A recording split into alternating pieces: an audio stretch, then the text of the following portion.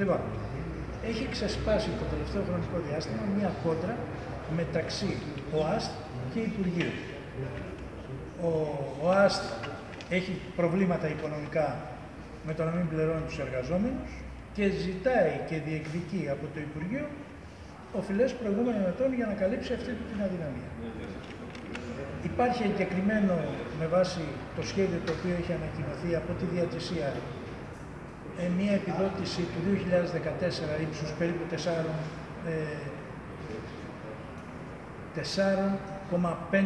εκατομμυρίων ευρώ, τα οποία πολύ σύντομα θα έρθουν στα ταμεία του ΑΣΤ και έτσι θα μπορέσει να καλύψει κάποιες από τις οφειλές τις οποίες έχει. Αλλά, εν πάση περιπτώσει, όπως και να έχει το θέμα, το πρόβλημα αυτό δημιουργεί τεράστια προβλήματα στην πόλη της Θεσσαλονίκης και γενικότερα στον επιχειρηματικό κόσμο.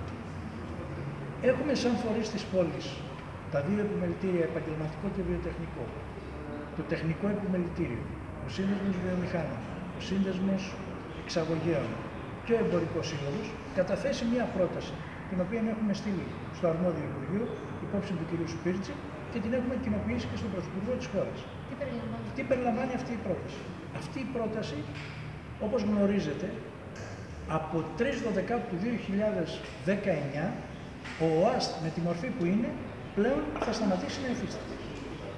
Εμείς σπεύσαμε εγκαίρως να καταθέσουμε μία πρόταση η οποία χωρίζεται σε δύο τμήματα. Το ένα τμήμα είναι αυτό που θα αναλάβει το σχεδιασμό και την επίβλεψη της ομαλής και ποιοτικής λειτουργίας του νέου φορέα. Θα αποτελείται από την περιφέρεια, την τοπική αυτοδιοίκηση, τους παραγωγικούς φορείς της πόλης, αλλά και τους εργαζόμενους, οι οποίοι θα κάνουν το σχεδιασμό και την επίβλεψη και από την άλλη πλευρά θα είναι ένας ιδιώτης επενδυτής, ο οποίος θα αναλάβει το έργο της μεταφοράς των πολιτών στο εσωτερικό της πόλης, αλλά θα συμπεριλάβει και το κτέλ και τη θαλάσσια αστική συγκοινωνία. Αυτή είναι η δική μας πρόταση.